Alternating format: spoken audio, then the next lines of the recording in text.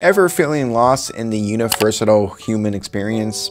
We've all been there, let's be honest, at some point or another. Wondering what's next in life, feeling uncertain about our path forward, and searching for the answers that seem elusive. That's exactly my objective and what this video aims for today is to provide you some clarity and guidance to help you move forward with confidence if you're feeling lost in life. I think we've all been in situations um, where we will feel like we're stuck, unsure what to do next. Maybe if you're feeling uncertain about your career, you know, wondering if you're in the right profession, or not even profession, maybe just even in your personal life, struggling to navigate relationships or find meaning and purpose. Whatever it is, feeling lost is definitely a very indeed frustrating and often scary experience. And I'm here to tell you that you're not alone, though. Many people are in your shoes right now and they have come out on the other side. Feeling lost can be a manifest in different ways. You know, you might feel anxious, you know, depressed, or just plain confused. You might be asking questions like, you know, what am I doing here in life?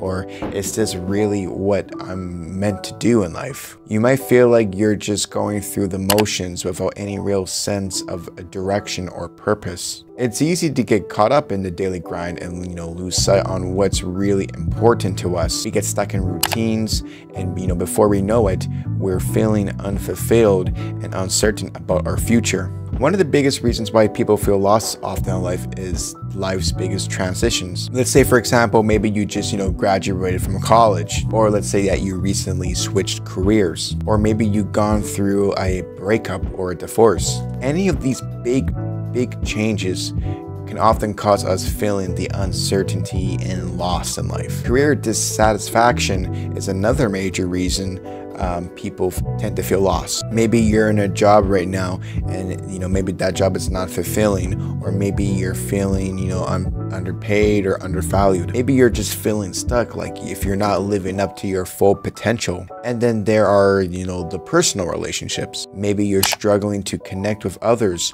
or maybe you're feeling isolated and alone. Whatever it is, these relationships can have a huge impact on our sense of direction and purpose in life. I've been there too. At times I felt lost and uncertain, wondering what I will be doing in my life. But I've learned that these feelings are 100% normal and there is a way out. The main insight or turning point for me was when I realized the importance of self-reflection and setting clear goals or roadmap. It's easy to get caught up in the hustle and bustle of daily life, but taking the time to reflect on what we really want, and setting concrete goals can be incredibly powerful. When we take time to look inward, to really examine our values and desires, we can start to see what's truly important to us and what we truly need to do to achieve our goals. By setting clear goals, we can start to feel more focused, more driven, and more confident in life. We can start to see a clear path better.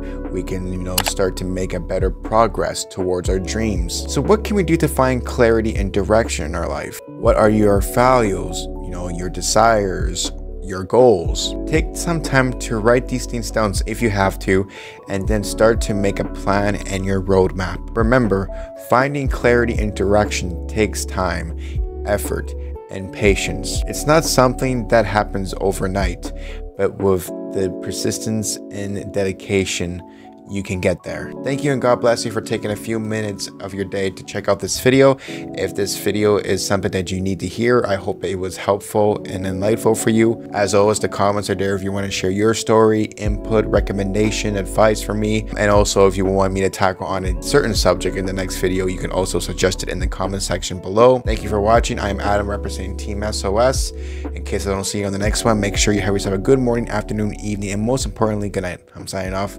Peace.